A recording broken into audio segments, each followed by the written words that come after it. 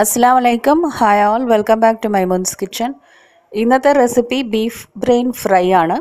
Beef brain ഒരുവിധം എല്ലാവർക്കും ഇഷ്ടമുള്ള ഒന്നാണ്. അത് ഫ്രൈ ചെയ്യുന്നത് എങ്ങനെയാണെന്ന് ഒരുപാട് പേര് എന്നടുത്ത് ചോദിച്ചിട്ടുണ്ടായിരുന്നു. അപ്പോൾ അതിന്റെ റെസിപ്പി കാണിക്കാമെന്ന് വിചാരിച്ചു. അതുപോലെ തന്നെ എങ്ങനെയാണ് ഈ ബ്രെയിൻ ക്ലീൻ ചെയ്യുന്നത് എന്നും കൂടിയാണ് ഞാൻ കാണിക്കുന്നത്.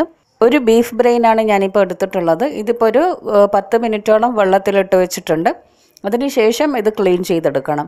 ക്ലീൻ ചെയ്യാന്ന് പറയുന്നത് ഇതിന്റെ ആ ഒരു സൈഡിലൊക്കെ ഇങ്ങനെ കാണാം നാര് പോലെ റെഡ് കളറിൽ ഇങ്ങനെ കാണാം. അപ്പോൾ അതൊക്കെ ക്ലീൻ അതൊക്കെ എടുത്ത് കളയണം. നന്നായി കൈകൊണ്ട് ഒരച്ച് കഴുകി കൊടുക്കണം. അത്രയാണ് ഇതിന് പണിയുള്ളൂ. അപ്പോൾ എന്താ ചെയ്യേണ്ടതെന്ന് വെച്ചാൽ ഞാനിപ്പോൾ ഇതൊരു പത്ത് മിനിറ്റിന് ശേഷം നന്നായി ഒന്ന് കഴുകി കുറച്ച് വെള്ളം ഒഴിച്ച് വെച്ചിട്ടുണ്ട്. ഇനി ഇതെടുത്ത് കഴിഞ്ഞിട്ട് രണ്ട് പീസ് ആക്കണം. അതിനുശേഷം ഇതിന്റെ ഉള്ളിലൊക്കെ കാണുന്ന ആ റെഡ് കളറിലുള്ള നാരുകൾ ആ ഒരു ഞരമ്പുകളൊക്കെ ഇങ്ങെടുത്ത് കളയണം.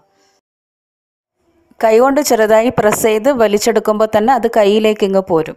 അങ്ങനെ ഓരോന്നും നമുക്ക് ക്ലീൻ ചെയ്തെടുക്കാം. അതിനുശേഷം നന്നായി വെള്ളത്തിലിട്ട് കഴുകിയെടുക്കണം. പൊതുവേ നമ്മൾ മീറ്റ് എന്ത് തന്നെ മീറ്റ് ആയാലും ചിക്കൻ ആയാലും ബീഫ് ആയാലും മട്ടൺ ആയാലും ഈ ബ്രെയിൻ ആയാലും ഒരു പാത്രത്തിലേക്ക് ഇട്ടിട്ട് അതിലേക്ക് വെള്ളം ഒഴിച്ചു കൊടുക്കണം. അങ്ങനെ വേണം ക്ലീൻ ചെയ്തെടുക്കാൻ.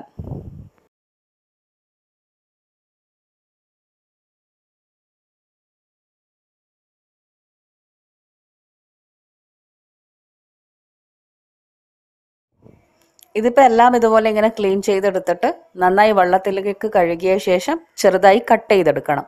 ചെറിയ ചെറിയ പീസാക്കി കത്രിക കൊണ്ടോ അല്ലെങ്കിൽ കത്തി കൊണ്ടോ ചെറിയ പീസാക്കി കട്ട് ചെയ്തെടുക്കാം. വളരെ സോഫ്റ്റ് ആയതുകൊണ്ട് ഇത് പെട്ടെന്ന് കട്ട് ചെയ്യാൻ പറ്റും കേട്ടോ. ഇനി എന്താ ചെയ്യേണ്ടതെന്ന് വെച്ചാൽ ഈ ബ്രെയിനിലേക്ക് കുറച്ച് മസാല ഇട്ട് പുരട്ടി വെക്കാം.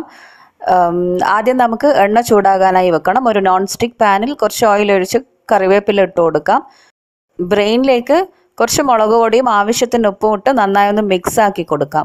പൊടികളൊക്കെ ഇട്ട് കൊടുത്താലും ബ്രെയിനിലേക്ക് മസാലയൊന്നും പിടിക്കാത്തത് പോലെ തോന്നും എണ്ണയിലിട്ട് ഫ്രൈ ചെയ്യുന്ന സമയത്ത് മസാല നന്നായി ചൂടാകുന്നതിനനുസരിച്ച് മസാല നന്നായി ഈ ബ്രെയിനിലേക്ക് കോട്ടായി വന്നോളും.